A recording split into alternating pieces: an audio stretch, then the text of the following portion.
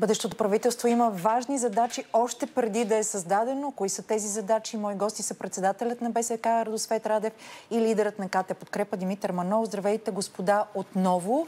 Казвам отново, защото ми е много приятно да си продължим един разговор, който а, започнахме в деня на изборите, 11 юли. Ето днес пъзъла вече лека по лека почва да се подрежда. Господин Манолов ще има ли този път кабинет на финала на нашия разговор? Тогава си говорихте, че казахте, че, че е нужно повече а, съгласие, по-малко политическо его. Случва ли се това сега? Най- най-вероятно ще има, ама то не е защото е станало по-малко егото и политиците са станали по-отговорни, просто така им налага собствения им интерес. Така че най-вероятно ще направят някаква схема. Сега въпросът е кой, какво... Собствения им интерес или Стоп. общия ни им, интерес? Се. Собствения им интерес, защото всички ще получиме повече от всичко, от същото, нали, както беше до сега. Ама ако някой има иллюзии по тази тема, е хубаво да се раздели с тях. Просто такава е политическата система. Сменят, сменят се само играчите. С какви лозунги се сменят, гледали сме го много пъти. Господин Радев, ще има ли кабинет? Помня тогава на 11 юли вие говорихте за това, че а, съгласието националното минава през умението да простиш греховете и грешките на другите. Виждате ли подобна прошка в момента? Едва ли точно прошката е енергията, с която се сгубява кабинета. По-скоро, така, понеже сме коширали... точно обратното. Понеже сме коширали с Митко на почти всички правителства раждането им, а, за първи път ми се струва, че а, ще се създаде правителство, което не е цел, а е средство. А, средство, което да постигне целта работещ парламент. Виждам енергията, с която всички говорят за несвършената работа в парламента и тя наистина можеше да бъде свършена. За четири работни дни ли беше това рекорда на предния, на предния парламент. Така че от тази гледна точка аз си е, обяснявам и така незаинтересоваността на е, състава на, на кабинета е, с това, че всички политически формации като че ли искат да свършат най-много работа в Народното събрание, ама то наистина там пък има много работа за вършене. А, така че, както в оперната класика се казва, нали, а, ние сега в момента пишем либретото, ама действащите лица и изпълнители ще дойдат по-късно. Ама това не е ли аз... малко обърната схема? А, аз... То е, обърната схема. Е, обърната, да. А, и... Онзи ден изслушах списъка от законопроекти, който изчете председател на Народното събрание от тези внесените законопроекти и, и меко казано се смутих. А, може би тези партии, които са в парламента, още са така ги влачи предизборното настроение, а, но тук има важни неща, които непременно трябва да се свършат, понеже вие казахте и, и Радосвет каза, че а, трябва непременно за да работи парламент, трябва да има правителство. Това за, за хубаво или за лошо е така.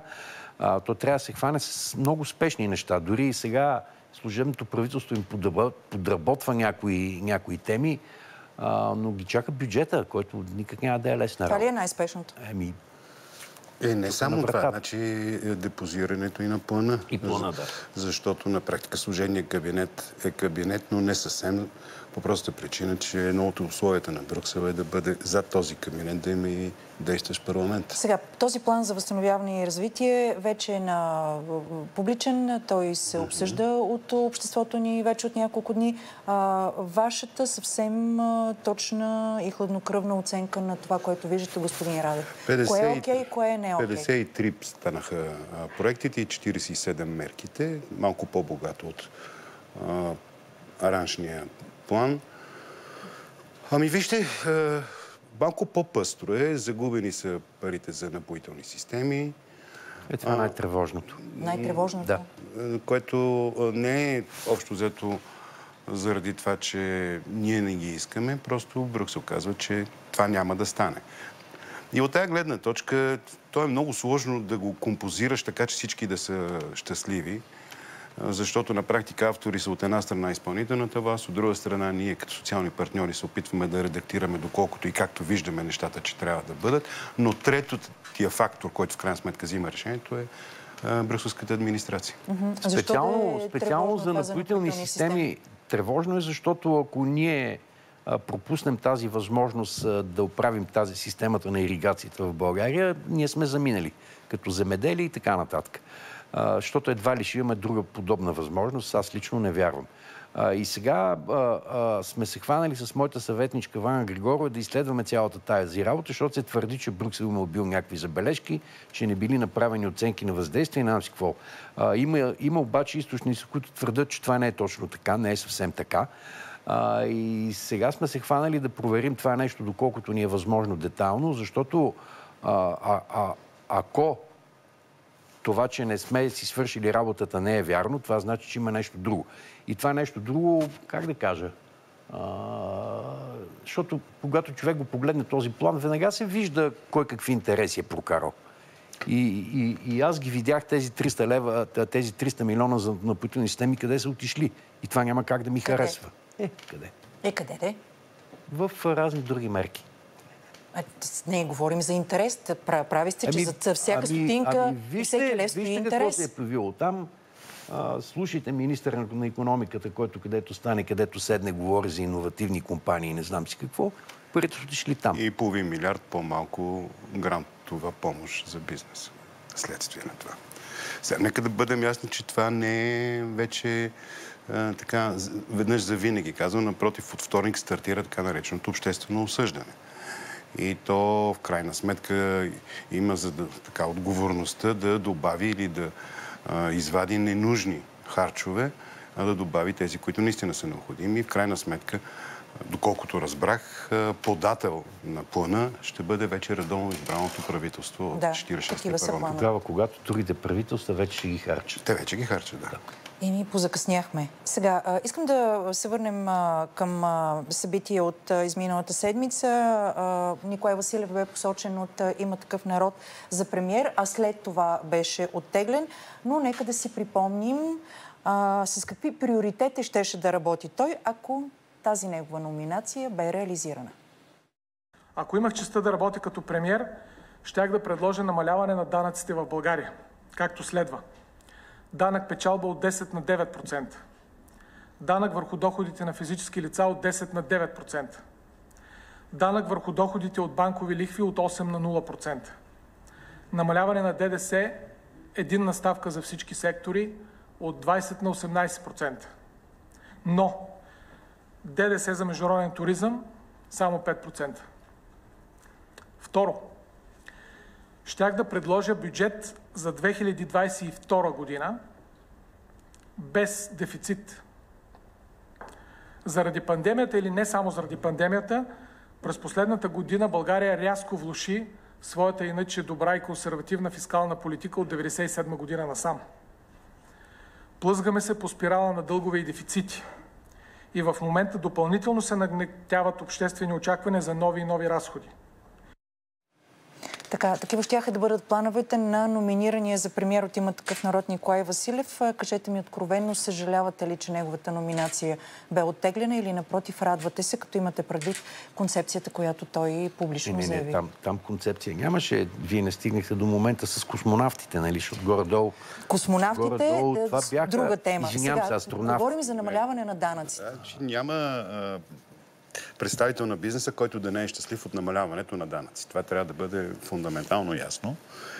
И аз така от времето, в което съм наблюдавал професионалната кариера на Николай Василев, той е от хората, които имаше, има енергия и би успял да ги направи по този начин нещата. Така че надявам се поне а, този про-бизнес а, заявка на не случилия се премиер Николай Василев да бъде все пак по някакъв начин а, останало в бъдещото правителство. Тези, тези економически възгледи, от, от чиято позиция той говори, тия приказки вече са безнадежно устарели. А, той, той рубува на, на някакви клишета от а, времената, когато беше някакъв човек преди 20 на години, нали? Времената тогава много се промениха. А, работата, работата, работата му е малко, сега ще ви кажа, работата му е малко като старата казарма на шега службата е тежка, но за сметка на това продължително, нали? Ние имаме да вършим повече разходи, но за сметка на това ще имаме по-малко приходи. А, и, и, и бюджета ще е балансиран. Те, тези неща не излизат, иначе те звучат а, за нечи уши, те звучат а, твърде добре.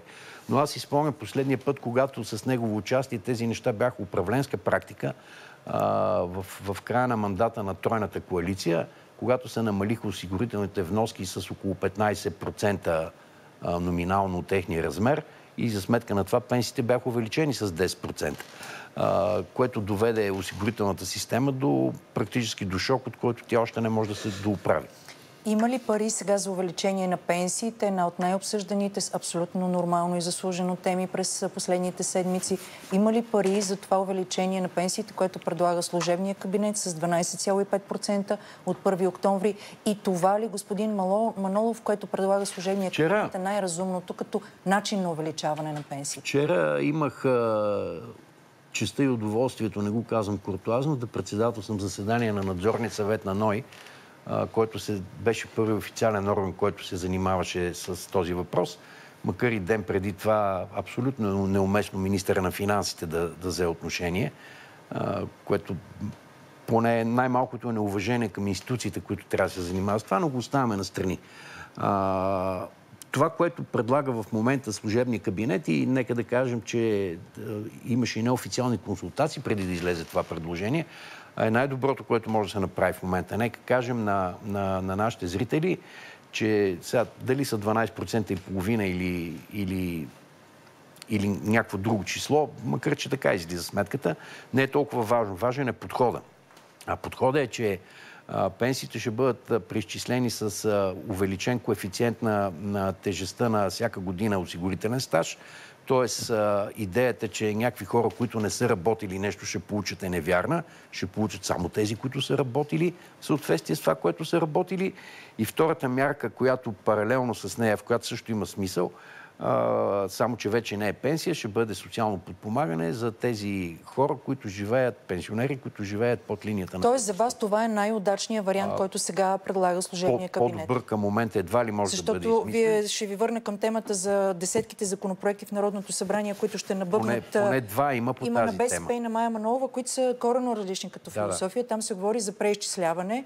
За вас... друг ред това не е, не е добро. С размера на осигурителния да. доход. Не това, което аз винаги съм го казвал. Този, този подход с увеличението на дела на всяка година осигурителен стаж е най-добри. Господин Радев, има ли пари за увеличение на пенсиите? Безспорно болна тема за обществото ни. Чух сега финансовия министр да казва, че НАП ще преизпълни петилетката, че оттам ще дойдат ни 2 милиарда, но все пак когато увеличаваш пенсиите, това не е за тази година. Това е изключително дългосрочен ангажимент. Имаме ли пари за това?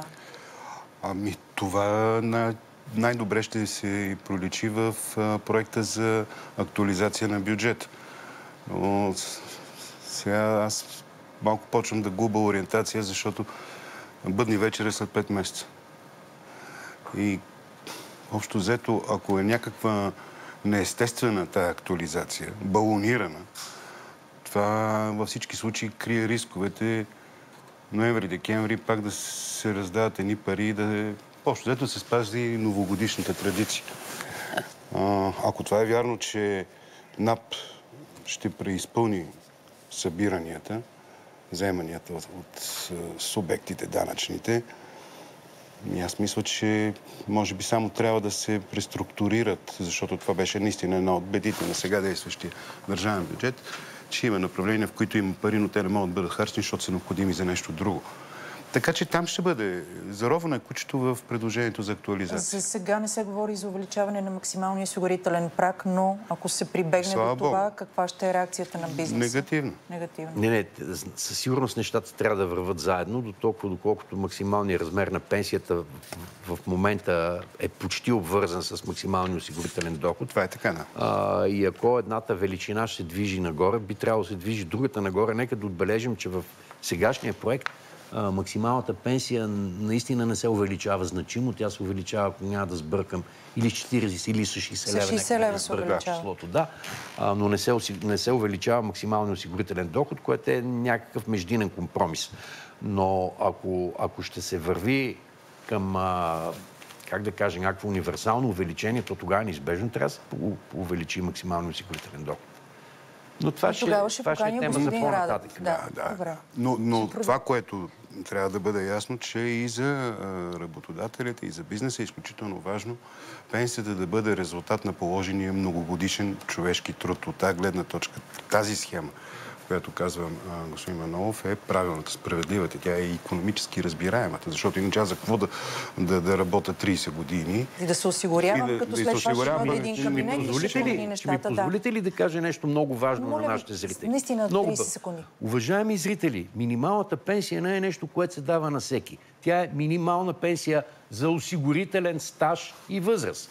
Не получават само тези хора, Които които, са работили, но за съжаление са се осигурявали върху нисък доход. Благодаря ви за това напомняне. Радосвет Радев и Димитър Манолов, мои гости, Прохладно господа, лято. хубаво лято ви пожелавам и на вас.